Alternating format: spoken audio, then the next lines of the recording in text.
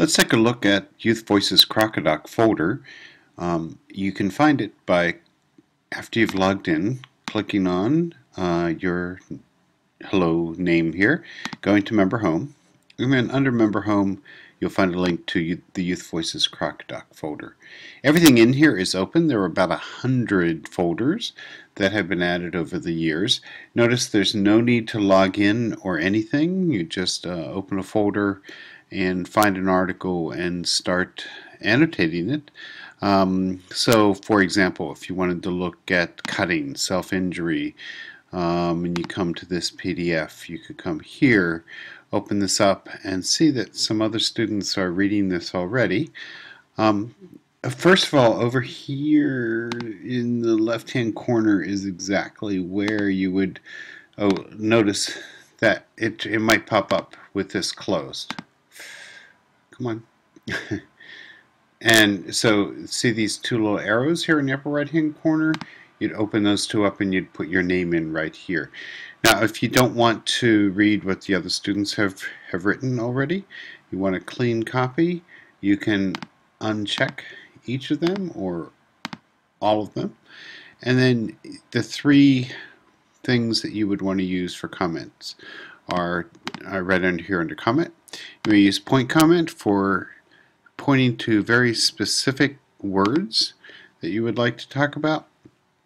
You want to use the area comment for commenting on entire paragraphs or, or little pieces of an image perhaps as well.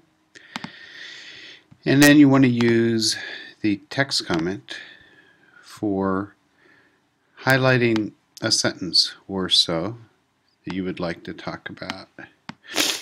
Yeah, text comments sometimes is a problem, but let's say you want to do a little bit that way. Okay, so that's how you can um, use the commenting feature to make comments on a Crocodoc um, document.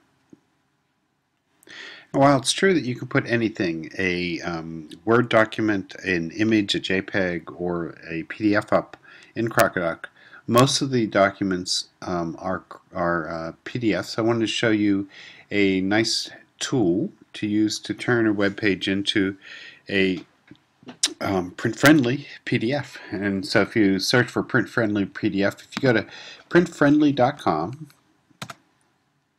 you'll find that you can just put a URL in there and it'll make it for you.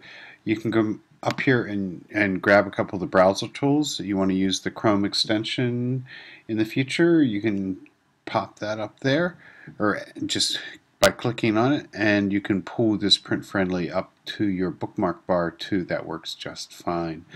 Um, either way it works. All right.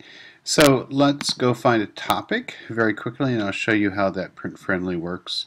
I'm going to choose a topic from a student in Fremont um, who's looking at racial identity and racism in the U.S.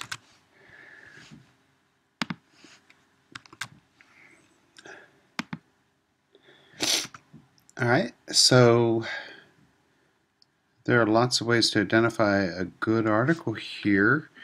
Um, I wanted to find one.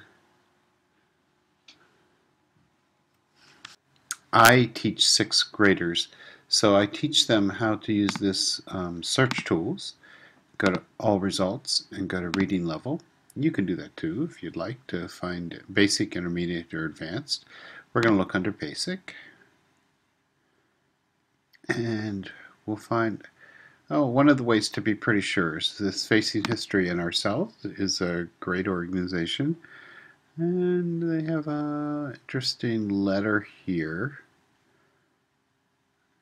And some other things. Um, that looks like an interesting article. Let's choose that. Yeah, it's all there. Um, I have my printer set to save as a PDF. You can do that too if you don't have it. And I'm going to save the title here. Uh, you can't put any question marks or other kinds of characters up here, but you want to save it. and then let's go back to Youth Voices and Member Home and the Crocodoc folder. And we're going to look here for racism. We're going to search on the page for racism and we find the folder. If the if there was no um, article uh, folder for your topic, you would just create a new folder, which is quite fine to do. But in this case, there is already one, so I'm going to add a document to that folder. So I click on and it uploads and converts. And once it's up here, it gives us a unique URL. Um, I like to sometimes pull this down onto my, if I'm going to use this computer again here, um, so that I can get quick access to it.